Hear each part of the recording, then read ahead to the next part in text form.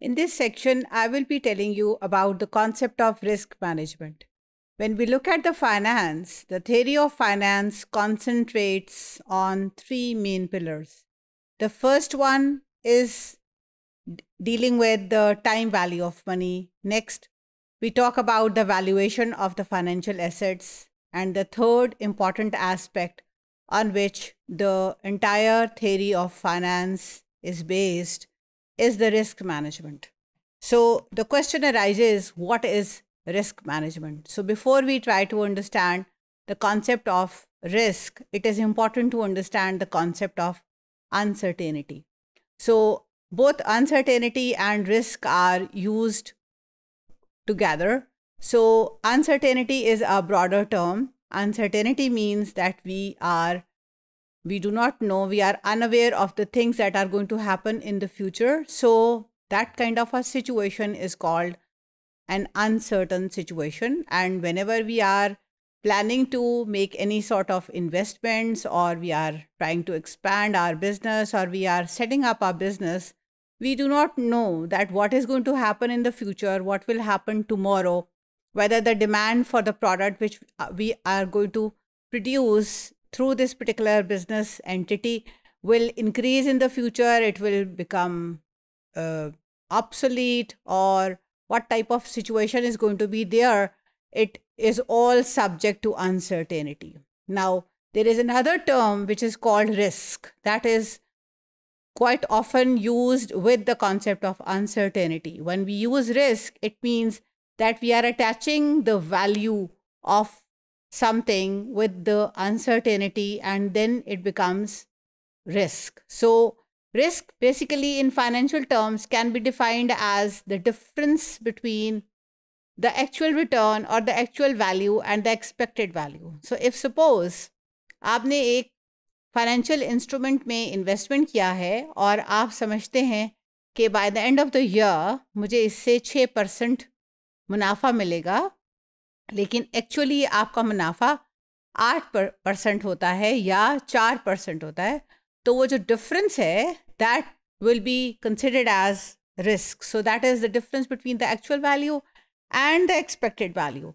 So when we are dealing with money, when we are dealing with investments, when we are dealing with finances, it is quite common that we are getting into situations that are subject to uncertainty and then when we attach value जब हम उसके साथ कोई मुनाफा, नफ़ा, नुकसान इस तरह की चीज़ों को अनसर्टेनिटी के साथ की मदद से अंडरस्टैंड करने की कोशिश करते हैं तो हम उसको रिस्क बोलते हैं। So risk can be defined as the possibility of losing all or part of any original investment which you have incurred आपने अगर एक लाख रुपए की इन्वेस्टमेंट की है तो वो पॉसिबिलिटी या प्रोबेबिलिटी कि आप उस पूरे के पूरे इन्वेस्टमेंट को या उसमें से कुछ हिस्सा कहीं खो ना दें, ज़ाया ना हो जाए, नुकसान ना हो जाए लॉसेस ना हो जाए, उस पर्टिकुलर एलिमेंट को हम रिस्क बोलते हैं। So as I mention earlier कि जब हम अनसर्टेनिटी में कंसिडर करते हैं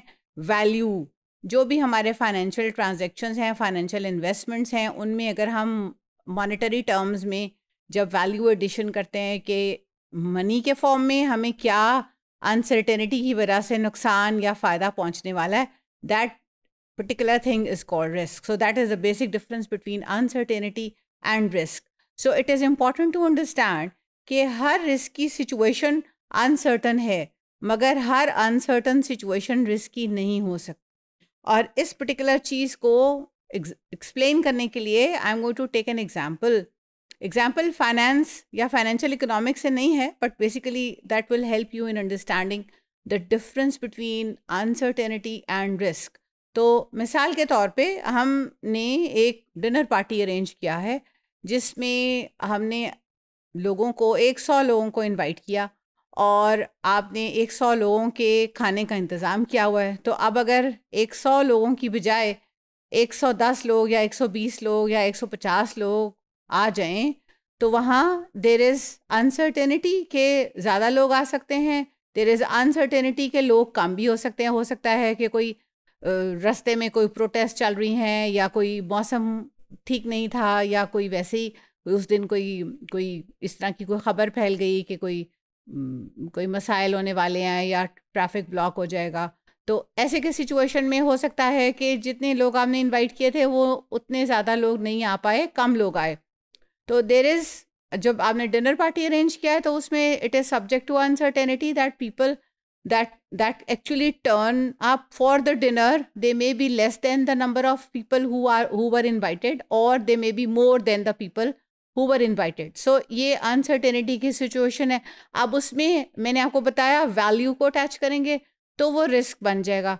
तो हमने कहा, इससे क्या होगा कि जो हमने खाना ऑर्डर किया हुआ था या तैयार किया हुआ था वो अगर कम लोग आएँगे तो खाना मनी ज़ाया हो जाएगी। खाना के फॉर्म में हमारे रिसोर्सेज ज़ाया हो जाएँगे। अगर हमारे पास ज़्यादा एक्सपेक्टेड एक्सपेक्टेशन से ज़्यादा अनइनवाइटेड मेहमान ज़्यादा आ गए हैं तो फिर आपका खाना शॉर्ट हो जाएगा। तो आपको कुछ मज़ीद पैसे खर्च करने पड़ेंगे इमीजिएटली खाने को मैनेज करने के लिए, उसको ज़्यादा अरेंजमेंट करने के लिए। तो वहाँ रिस्क है। तो हम इस, इन दो सिचुएशंस को अकाउंट फॉर कर सकते हैं। लेकिन अगर आपने वन डिश पार्टी रखा हुआ है तो उसमें क्या होगा कि आपने हर बंदे को बोला, जो भी आएगा डिनर में, उसने अपने साथ अपना खाना और एक दो लोगों के लिए और खाना भी लेते हुए आए।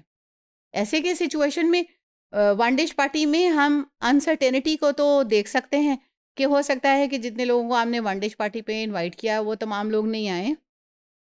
लेकिन वहाँ खाने की शॉर्टेज या सरप्लस वाला सिचुएशन नहीं होगा।